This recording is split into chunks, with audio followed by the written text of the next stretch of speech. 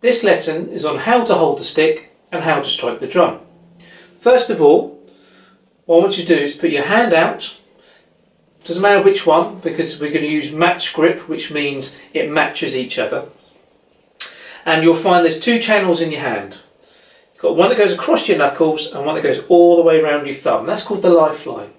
What I want you to do is put the stick through the first finger knuckle, then in between the two channels on that fleshy part of the hand. So through the first finger knuckle and in between the two channels on that fleshy part. The thumb just comes in and that first finger comes down. It doesn't come round because you'll be moving the hand. It just comes down. Then I call these back fingers. They just lie on the stick and they move with the stick. Then you turn the hand upside down, so the back of the hand's always faces the ceiling. And you want roughly around about three centimetres, a good inch for old money, out the back there. You don't want to hold it there because it's longer here than it is here. So remember, back and hands face the ceiling, then check.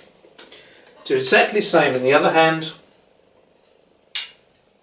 And then we rest the acorns, this is called an acorn, a stick, so it looks like an acorn, on the pad or on the drum.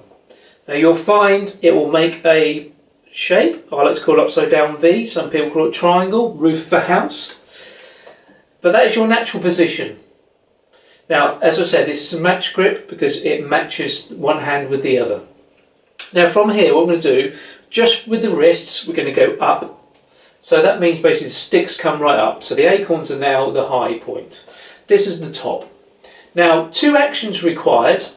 So the first action is from the acorn. It's like a bouncing ball. When you bounce a ball, it will come straight back to you.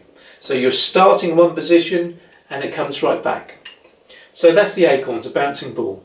With our wrists, we want a, a, sort of flicking motion. So think about when you've been to the bathroom, you've washed your hands, and you're trying to flick that water off your hand. So with those two actions, bouncing ball, flicking water. So up with the wrists, we'll start and finish at the top. So, bouncing ball, flicking water.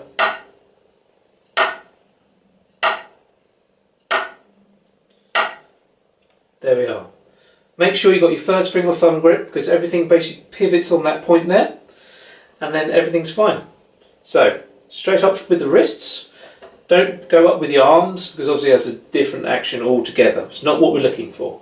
So up with the wrists, bouncing ball, flicking water,